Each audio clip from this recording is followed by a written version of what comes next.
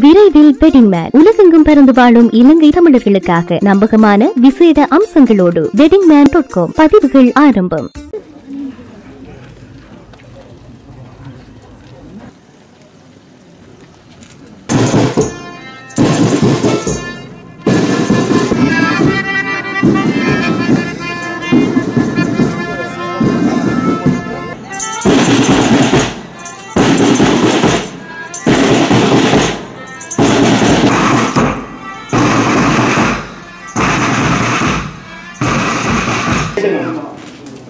பாடசாலை அதிபர்கள் பிரதேச உறுப்பினர்கள் ஆகியோரும் கலந்து கொள்கின்றனர். கட்டிடத்தை திறந்து வைக்கின்றார். ஆ இது எவது பாடசாலை.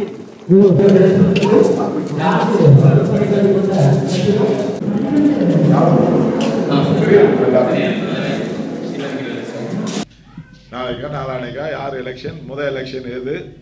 பார்லிமெண்டா? பலாசபாவா அல்லது ஜனாதிபதியா? இந்த நாட்டில் எந்த எலெக்ஷன் வரப்போகுதுன்னு நமக்கு எதுக்கும் தெரியாது.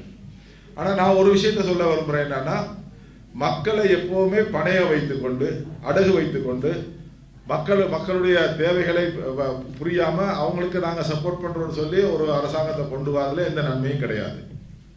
மக்களுடைய தேவைகளை உணர்ந்து மக்களை மக்கள் அவருடைய அனுசரணையோடு ஒரு அரசாங்கத்தை ஒரு பிரதிநிதியை கொண்டு வர்றது மூலமாகத்தான் எங்களுடைய எதிர்கால தேவைகளை நாங்கள் பூர்த்தி செய்யக்கொள்ள முடியும். இது காலத்தினுடைய கட்டாயம். இப்போ இருபது வருஷத்துக்கு முதல்ல நமக்கு நிறைய தெரியாமல் இருந்திருக்கலாம். ஃபோன் கிடையாது. மொபைல் கிடையாது. டிவி கிடையாது. ஒரு ஒரு டிவி இருக்கும். எங்கெங்கேயாவது பிளாக் அண்ட் ஒயிட் டிவி இருக்கும்.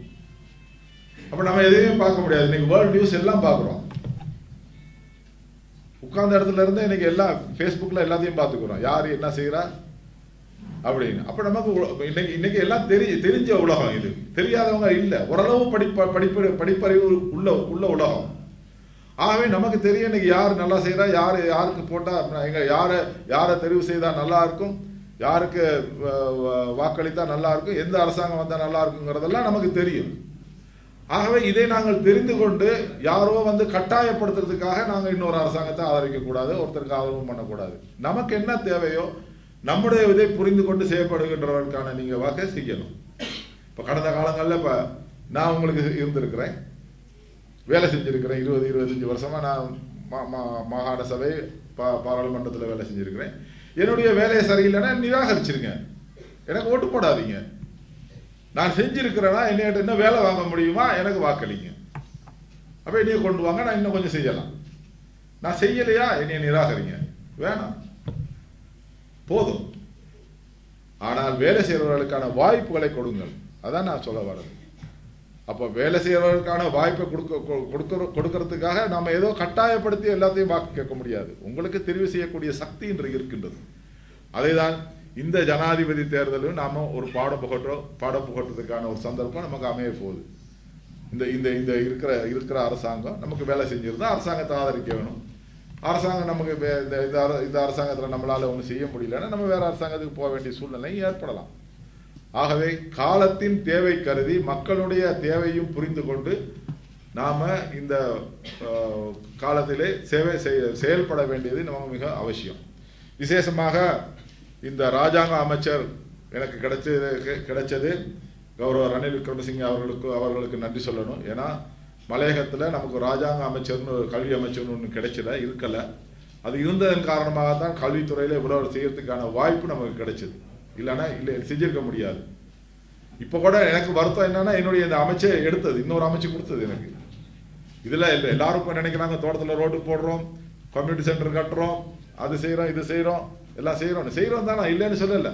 அதுவும் தேவை இருக்குது மக்களுக்கு. ஆனால் அதை விட தேவை என்னுடைய கல்வி தேவை அதிகமாக இருக்கின்றது. இன்னைக்கு இவ்வளவு பெற்றோர்கள் ஏன் வந்திருக்கிறாங்க? தங்களுடைய பிள்ளைகளுடைய எதிர்காலத்தை கருத்தில் கொண்டு. இன்னைக்கு அவங்க அவங்க நினைக்கிறாங்க என்னன்னா தன்னுடைய பிள்ளையும் எதிர்காலத்தில் கொழுந்து கூடையோட தோட்டத்துக்கு போகக்கூடாது. அதை நான் பார்க்கக்கூடாது. அவங்க ஒரு டாக்டரா ஒரு இன்ஜினியரா ஒரு ஆசிரியரா ஒரு போலீஸ்காரரா ஒரு அதிபரா எங்கள் முன்னுக்கு வரணும். அப்போ தான் எங்களுக்கு பெருமையாக இருக்கும்னு அவங்க நினைக்கிறாங்க. ஆனால் இந்த நினைப்பில் தப்பு இல்லை. நான் அதை தான் முதல்ல சொல்ல வந்தேன். இந்த நினைப்பு தான் இருக்கணும். இதுதான் நமக்கு எதிர்காலத்தில் நம்ம வழி வழி நடத்துகின்ற ஒரு எதிர்பார்ப்பாக இருக்கும். ஆகவே அதற்கு பெற்றோர்கள் தயாராக இருக்கணும். அடுத்து என்ன செய்யலாம்? டைப் போடுற இதை உண்டாக்குனேன் முதல்ல.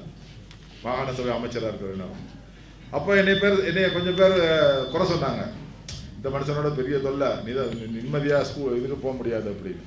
ஆனால் உங்களுக்கு கௌரவத்தை உண்டாக்கி இருக்குது அதுக்காக தான் முல்லைத்தீவு தேவிபுரம் குடியிருப்பு பகுதிக்குள் புகுந்த யானை கூட்டங்களினாலும் வாழ்வாதார பயிர்கள் நாசமாக்கப்பட்டு